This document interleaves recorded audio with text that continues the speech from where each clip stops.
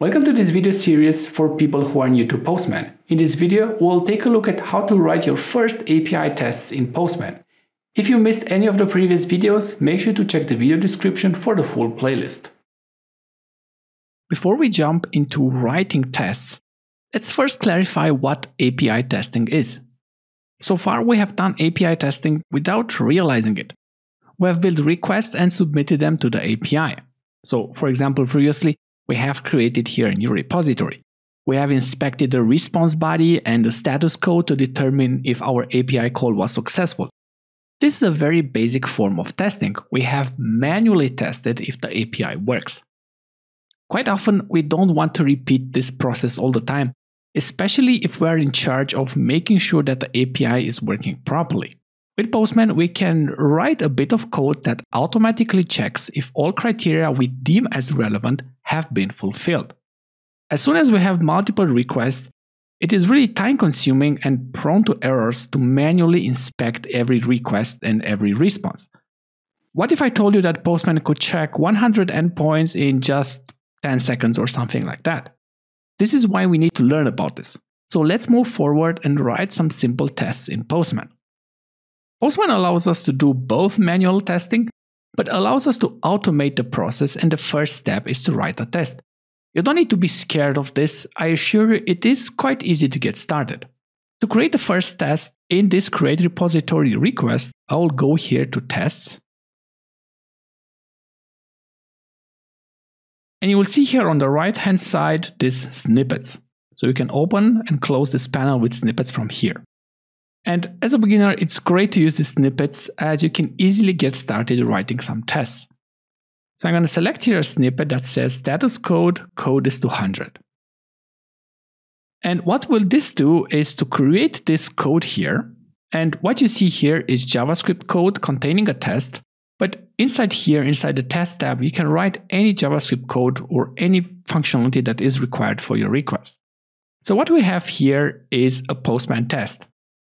And we are using the pm.test function. And this function takes two parameters. The first one is the name of the test, which is status code is 200. And the second one is a so-called callback function, which contains the assertions. And if you look at the assertions, you will see it says here pm.response to have status 200. This test will be executed once the response from the server has been received. As you can observe, we are making an assertion on the response using the PM object. Let's run this and see what happens. Now you will see here that we are getting a status code 422. And we get here in the body some details why the request failed. But most importantly, you should take a look here at the test results and you will see here we have something which says status is 200 expected response to have status code 200 but got 422. Our assertion was that the status should be 200, but we got something else, and then this code has been executed by Postman and the test failed. It is very important to ensure that your test will fail. If you're getting a test that passes from the beginning, make sure you change something about your request to ensure that your test will fail. A common mistake that people in the beginning do is to write this code on their own. And what they tend to do is to put here a parenthesis. By closing this function, they also remove something from here. The test almost looks the same as before. And then they get here a test that passes. The reason for this is that in JavaScript, this is still valid code, but essentially the pm.test function contains no assertions. If there are no assertions, obviously the test will pass because there's nothing that will make it fail. So it's a common beginner mistake. So to make sure that you're not making this mistake, always ensure that your test will fail. So I'm going to revert this and make sure that it still fails and move on to trying to fix this. So we'll see here that the error that we're getting is that name already exists on this account. So essentially, we have created here a repository created from Postman but in this case, we can only create a repository with this name. So if we want to create an additional repository, we need to change something about the name. Otherwise, you cannot have two repositories with the exact same name. So I'm gonna simply add here number two. So created from Postman number two. you see here this is still failing.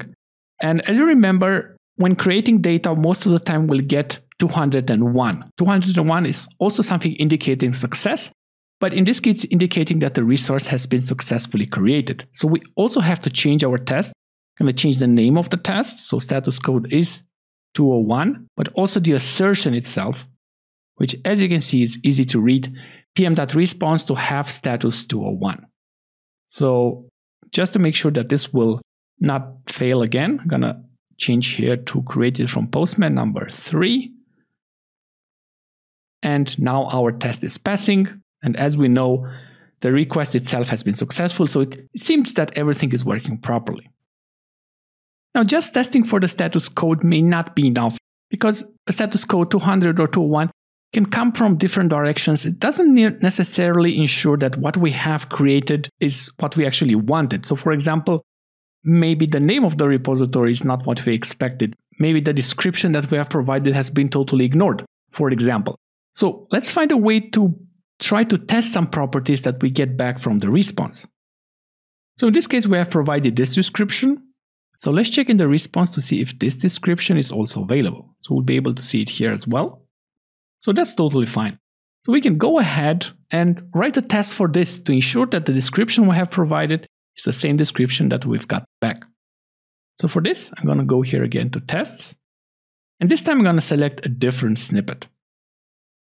I'm going to select the snippet here, response body, JSON value check. So in this case, we want to check if the description is available.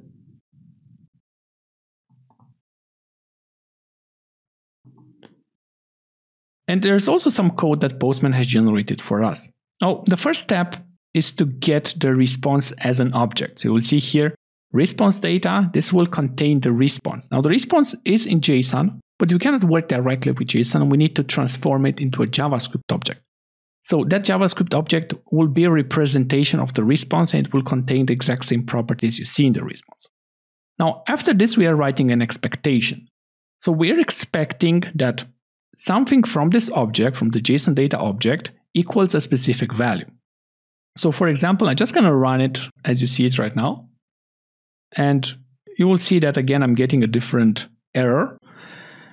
Essentially the first test is still failing but because we haven't changed the name of the repository and the second assertion is also failing because we have expected undefined to deeply equal 100 now undefined simply means that there is no property value in the response. So even in this case if we're looking here in the response we'll see there's no property called value.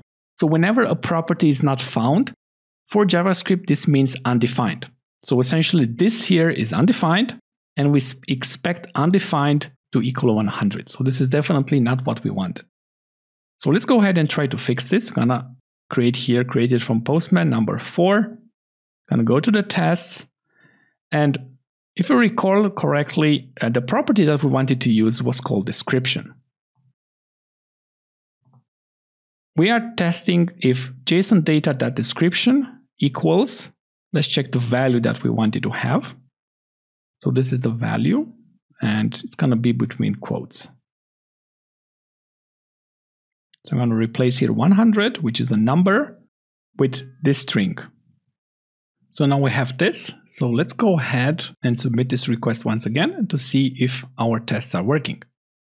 So you'll see here, test status, everything is passing. So both tests that we have with these two assertions, they are passing.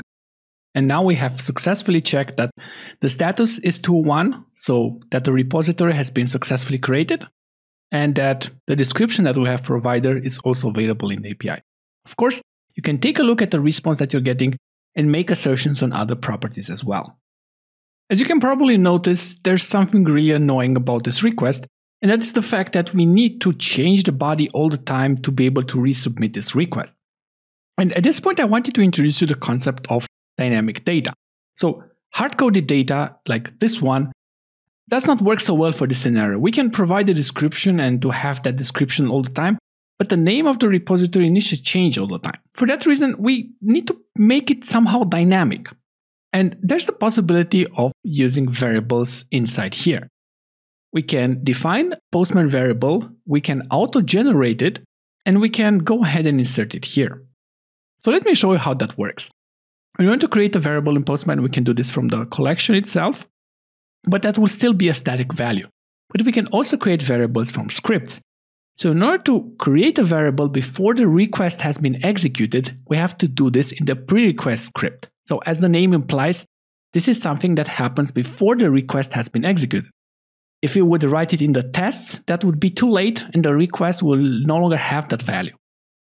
So I'm going to go here in the pre-request script and I'm going to use the PM API for scripting. And I'm going to write here something like pm.collection variables. You'll see this autocomplete appears.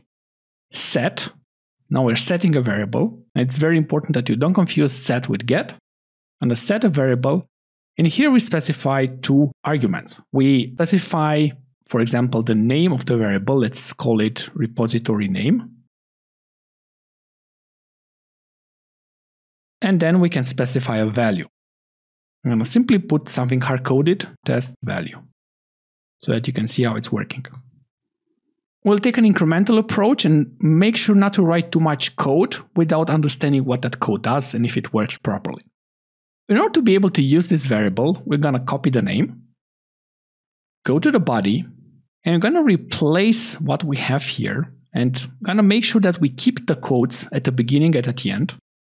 I'm going to write here curly brackets so two curly brackets, then the name of the variable. I'm going to close this and you will see here the syntax will also change. So when I'm going to click on this and run it, you will see here that the name of the repository is now test value. So what happened? This script was executed. We have created a collection variable called repository name. We have given here a value and we have used that value in the body here. At this point, this is still not a dynamic, so it's not really helpful. It doesn't solve our problem. Let's try to add some randomness to it. So I'm going to go ahead and define another variable. I'm going to use const to define the variable because this is something that doesn't change. It's constant at this point when the script is executed. I call it random. And I'm going to use a built-in JavaScript function which allows us to generate a random string.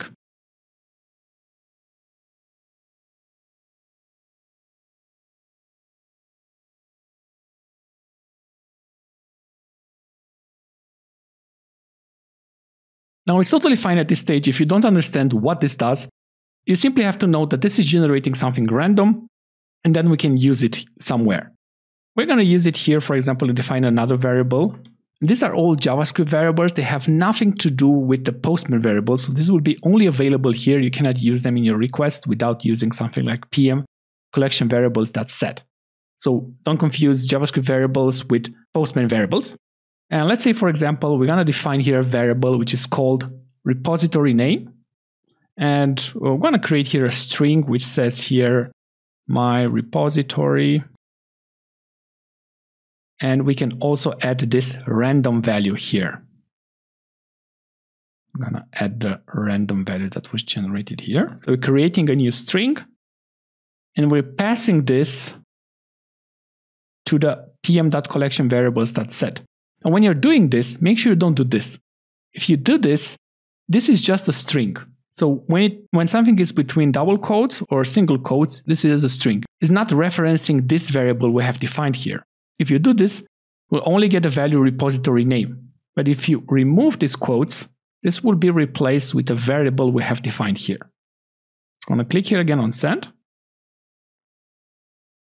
And you will see now what we're getting back is something like my repository, and then this is this random string. So now I can go ahead, click a few times on this, and I can start generating as many repositories as I wish, because all the time I'm going to get some random data there. Now we have written a test for the description, but we have no test for the repository, the name itself. So let's go back to the tests. I'm going to copy this previous test and make some small adaptations to it.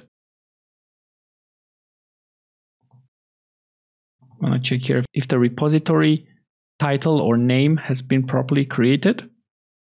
And again, we're going to take a look at the body. We're going to take the name property, so JSON data.name. And we want to make sure that it equals the repository value. So I want to just make sure that it's the same value as this variable. So I'm going to copy it. I'm going to go to tests, replace this hard-coded value with this one.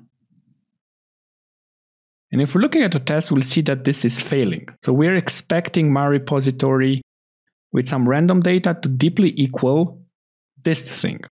And as you can see, the curly brackets were not replaced. And the reason for that is this syntax with curly brackets does not work inside scripts. You can use it inside the address, you can use it in query parameters, in the authorization, in the body, anywhere else, but not in scripts. Whenever you need to get a Postman variable inside scripts, To remove this, including the quotes, we have to use pm.collection variables for getting a collection variable. .get, it's important not to confuse get with set. I'm going to specify here the name.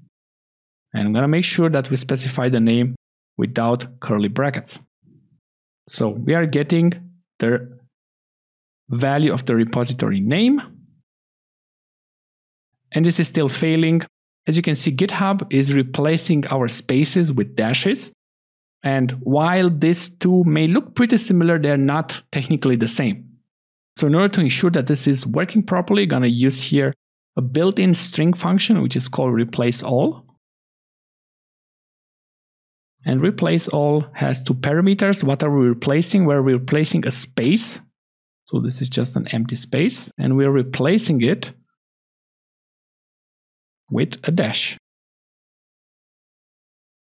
Let's give it another try. And now this is working properly. So in this video, we have replaced manual checks with tests by writing assertions. We have here different assertions. We're checking the status code and we're checking some properties from the response body. And now we're sending this request once. We only have to look here at the test results. If everything has passed, it means that everything has worked properly. We no longer need to check the body or do anything else. Additionally, we have also documented the API functionality at the time of this test. So for example, something that this API does is replacing these spaces with a dash. So this is again documented in our test. If all of a sudden they start not doing this anymore, this test will fail because it will then have a different value. So this is what I mean by documenting the API functionality. If you're facing any issues getting this to work in Postman, make sure to check the video description for some troubleshooting ideas.